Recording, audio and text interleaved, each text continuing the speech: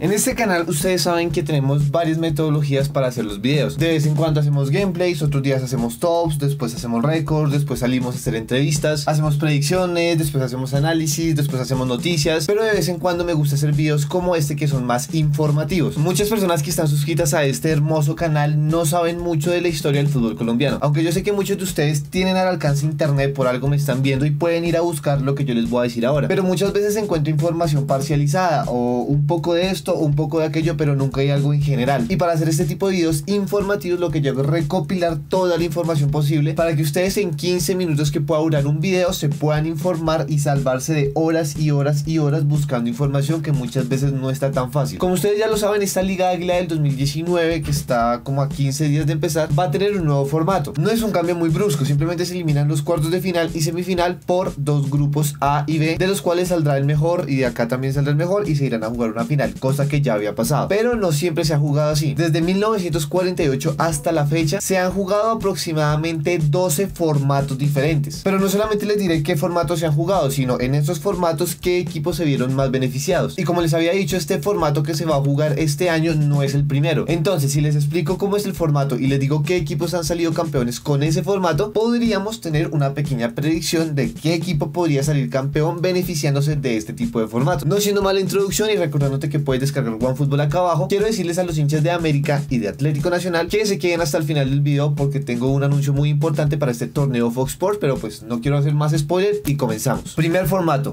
anual todos contra todos. Desde 1948 hasta 1967, con la excepción de 1957 que ya se los voy a explicar después, los primeros torneos no se jugaban necesariamente todo el año. Inclusive como les he comentado en otros videos que les dejo por acá de la historia del fútbol colombiano, el primer torneo, el de 1948, empezó en agosto y terminó en diciembre. Pero a pesar del poco tiempo era muy simple el formato y se sigue utilizando en muchas otras ligas. Un todos contra todos durante todo el año, ida y vuelta, y el que más puntos haga en ese año queda campeón. Punto. Durante este formato todos contra todos, muchos equipos se vieron en bancarrota y tenían que irse, por lo cual a veces no se jugaba ida y vuelta, sino se jugaban tres rondas. Ida, vuelta e ida, básicamente. O incluso en algunos años, porque eran tan poquitos equipos, se tenían que jugar cuatro rondas, básicamente ida, vuelta, ida, vuelta, para poder sacar al verdadero campeón. Con este formato, Millonarios ganó 9 títulos, Santa Fe ganó 4 títulos, Deportivo Cali ganó 2 títulos, el Deportes Caldas, ahora 11 Caldas, ganó un título, Atlético Nacional ganó un título, Independiente Medellín también ganó un título y el Deportes Quindío también ganó un título. Como les comentaba, durante esos años hubo una excepción y fue el año de 1957. En este año es cuando podíamos empezar a ver la improvisación que tenían los directivos del fútbol colombiano. Para esta década del 50 y empezando la década del 60, varios equipos grandes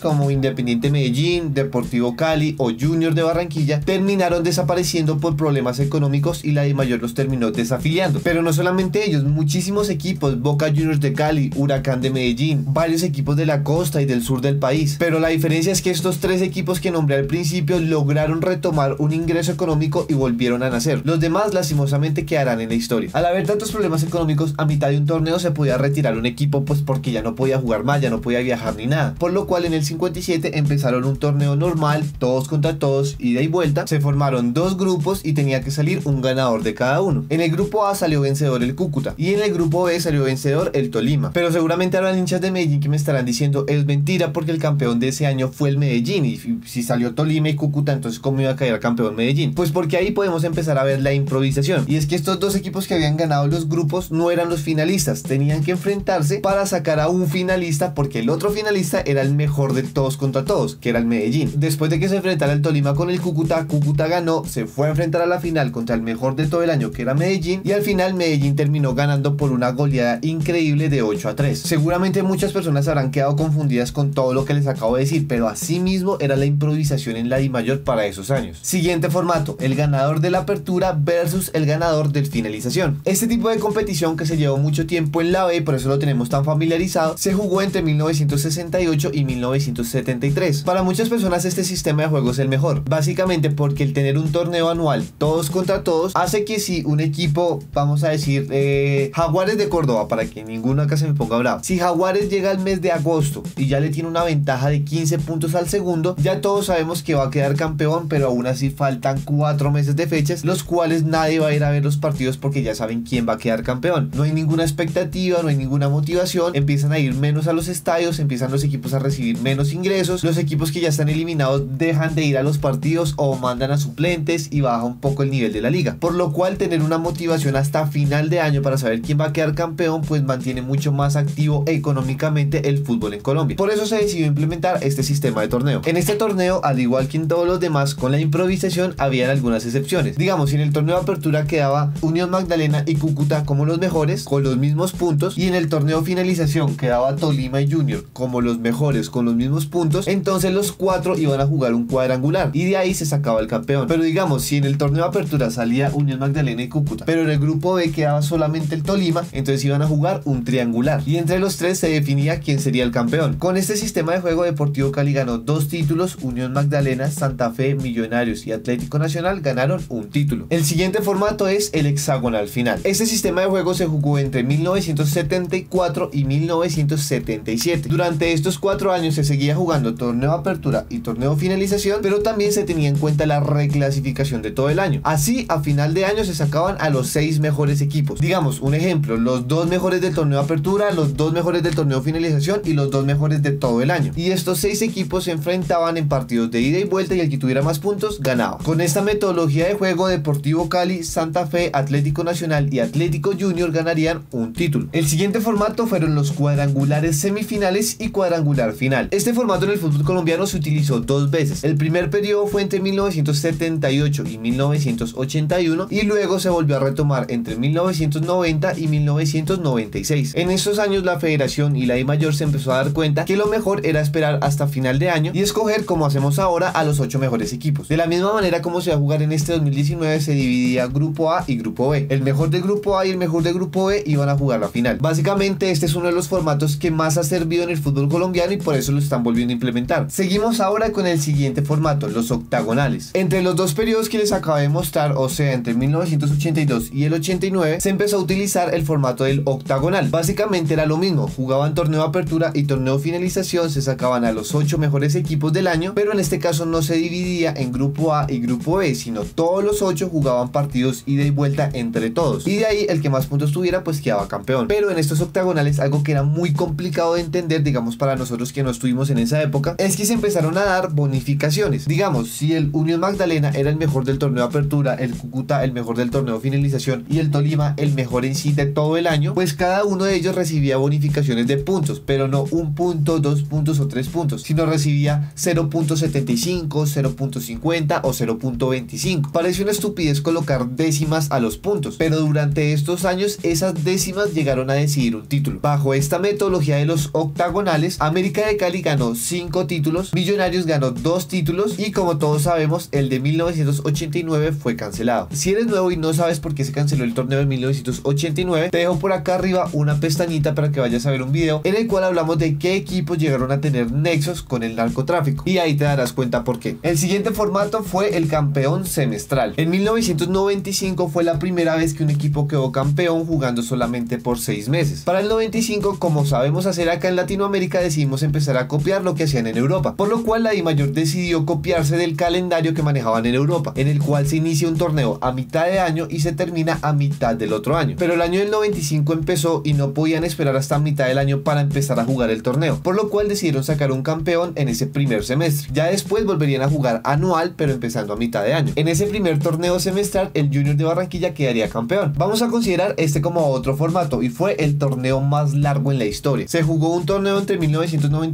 y 1996, pero durante ese torneo se dieron cuenta que ni los jugadores lo aprobaban ni los directivos recibían los ingresos económicos que ellos esperaban. Básicamente un torneo anual en Colombia que empezara a mitad de año fue un fracaso. Así que bueno, se acabó ese torneo y tenían que jugar el de 1996 a 1997, pero hubo mucho conflicto de intereses y terminaron empezando el torneo no en agosto, sino en septiembre. Y a su vez el torneo no se acabó en julio o junio del siguiente año, sino se acabó en diciembre. Básicamente los equipos colombianos estuvieron jugando durante 15 meses por una estrella. Diferente ahora que en 15 meses laborales, por decirlo así, para los jugadores ya tenemos tres campeones. Al final de este torneo que tuvo muchas complicaciones, se decidió sacar a los dos mejores del año para que jugaran una final. En este caso, América de Cali y el Atlético Bucaramanga. Al final, como los hinchas leopardos ya saben, el América les quitó la posibilidad de conseguir su primer título. Ahora hablamos del torneo del 98, 99 y 2001. En esos tres torneos se volvió a aplicar el todos contra todos, se sacaban los ocho mejores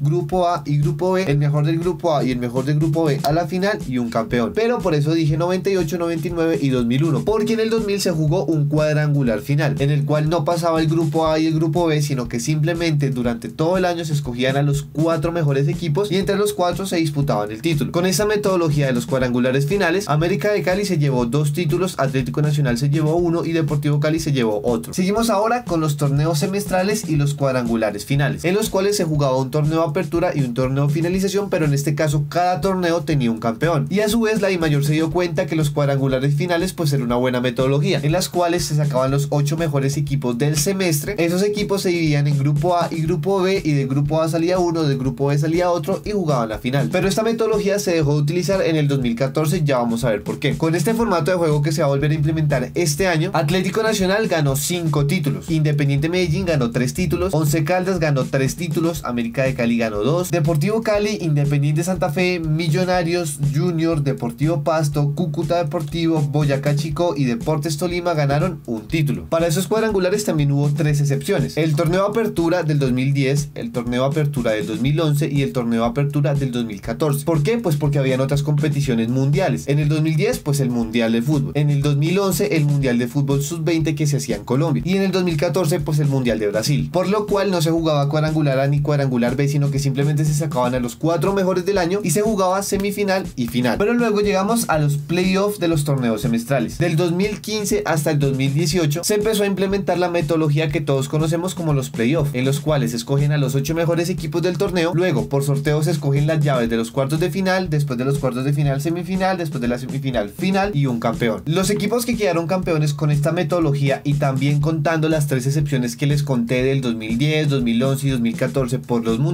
Atlético Nacional se llevó cuatro títulos. Junior se llevó uno, Cali 1, Medellín 1, Santa Fe 1, Millonarios 1 y Tolima otro. Ahora llega la Liga Águila del 2019 y se va a volver a implementar lo que se jugó durante los primeros torneos cortos. Se van a seguir escogiendo los ocho mejores equipos del año y luego se divide en grupo A y grupo B. Como cabeza del grupo A va a quedar el primero de la tabla y como cabeza del grupo B va a quedar el segundo de la tabla. Esos dos equipos van a tener lo que antes llamábamos como punto invisible y es que si en dado caso llegan a haber empates entre ese equipo que tiene el punto invisible y cualquier otro de su grupo, ese equipo va a terminar pasando a la final. No importa la diferencia de gol, sino los puntos. Para algunas personas es una bonificación por haber sido el mejor de todo el torneo, se lo merece, pero para otras personas es injusto que exista un punto invisible y se debe juzgar más que todo por los goles de diferencia y por otros factores. Cada quien va a tener su opinión y vamos a ver si en este 2019 llega a ser relevante ese punto invisible. Porque si algún equipo llega a pasar a la final por el punto invisible, ya va a haber polémica. Espero que este video te haya gustado un montón. Si fue así, no olvides regalarme un buen like para que este contenido le llegue a muchas más personas. Y si es la primera vez que es uno de mis videos, suscríbete picando en el botoncito rojo que está en la parte de acá abajo y activando la campanita de notificaciones para todos los que ya están suscritos y para los que no. Y así les llega una notificación cada vez que subo un video. Quiero que me dejes acá en los comentarios cuál de estos torneos que se ha jugado durante toda la historia del fútbol colombiano es el que te gusta más. O si en dado caso tú estás conforme con este nuevo formato de cuadrangulares y para ti está perfecto. Pero independientemente de todo eso, quiero que me lo dejes acá en los comentarios. No olvides seguirme por acá en mis redes sociales para estar más atento a todo mi contenido y es muy importante que me sigas por lo siguiente. Para los hinchas de la América de Cali y de Atlético Nacional que viven en Bogotá y que se quedaron hasta el final del video, quiero comentarles que el torneo Fox Sports que ustedes saben empieza mañana viernes con el partido Nacional Millonarios y el sábado con el partido América de Cali Independiente Santa Fe, pues va a ser el momento ideal para grabar un nuevo Casa Clasiqueros. Videos que me estuvieron chingui chingui chingue en los comentarios que cuando iba a ser otro Casa Clasiqueros. Pues gracias a Fox Sports vamos a tener la posibilidad de hacerlo con los hinchas de la América y con los hinchas de Nacional. Así que si tú quieres salir en el Casa Clasiqueros, la cita va a ser este viernes para los hinchas de Nacional y el sábado para los hinchas de la América. Yo los estaré esperando a las 4 de la tarde en punto al lado del ingreso de Occidental. Debajo del cartel que dice El Campín, por acá les estaré dejando una foto para que ustedes no se confundan por cuál es la entrada. Si no estoy mal, por ahí puedes entrar a las tiendas de Santa Fe y de Millonarios. Básicamente la mitad del estadio sobre la carrera 30. No lo cito ni en norte, ni en sur, ni en oriental, pues porque occidental es donde van a entrar los hinchas de ambos equipos y se van a mezclar y no hay ningún problema. Obviamente primero está la seguridad de todos nosotros. Así que si tú quieres ir, porfa escribe por cualquiera de mis redes sociales, principalmente por Instagram te estaré contestando y confírmame si puedes asistir. De igual manera estaré hablando con unos amigos que tienen un canal de hinchas de Nacional y otro amigo que tiene un canal de hinchas de la América para que ellos también hagan parte. Así que no siendo más por este video, te recuerdo que mi nombre es Juan Camilo y si estás en Bogotá, podríamos vernos mañana o el sábado